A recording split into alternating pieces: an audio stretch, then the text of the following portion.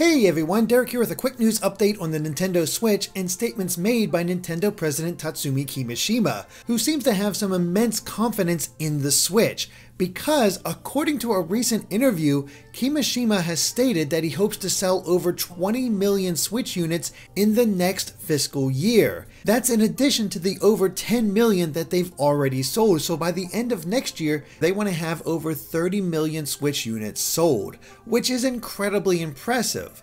The thing is, it's entirely possible it could happen, because in Japan, the Nintendo Switch has already surpassed how many units the PS2 sold back when it was first released in its first year. In Japan, the PS2 sold a little over 3 million units. Meanwhile, the Switch has sold over 3.2 million units, so it's already doing better than the PlayStation 2, and that's one of the best selling consoles of all time. So it's very likely that Kimishima and the rest of Nintendo can pull this off. He says they plan to make this happen by releasing software which lets consumers play in new ways, and also by extending the life of already released games with DLC. He's also made some statements that they want to provide games that make use of the Switch's new playstyles, so stuff like the HD Rumble, the motion control, and the IR camera.